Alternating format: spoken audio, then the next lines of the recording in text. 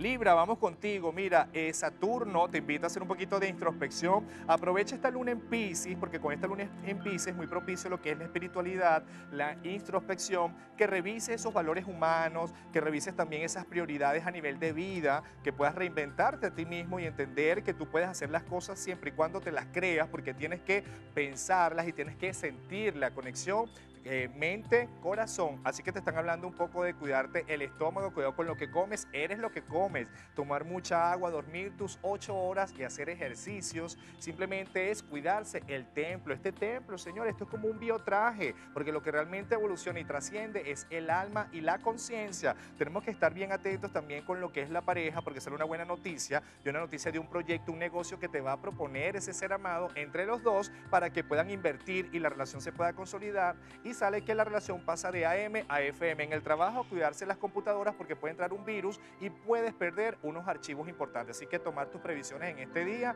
y un toque de luz para ti.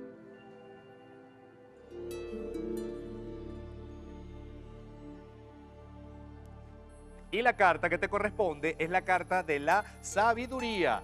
Este atributo es el resultado de la experiencia adquirida con los años y el conocimiento que tú sumas con los libros o con todas esas, enseñanzas que tienes en esa cotidianidad. Lo importante es que cuando tú sumas estos dos, estos dos factores, esa sabiduría es el despertar de esa conciencia, de ese maestro que habita dentro de tu corazón. Lo importante es entender que este atributo te va a ayudar a tomar decisiones asertivas en este momento de cambio en tu vida. Así que toma conciencia con este atributo para que todo salga al 100%.